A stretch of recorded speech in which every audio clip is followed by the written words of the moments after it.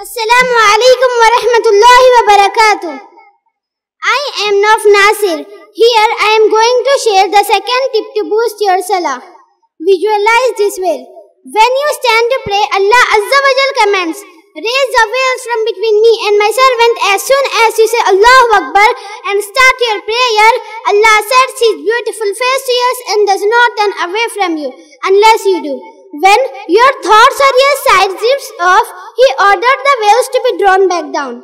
Visualize these veils being lifted to keep concentrated with your heart and your body. Are you still drifting?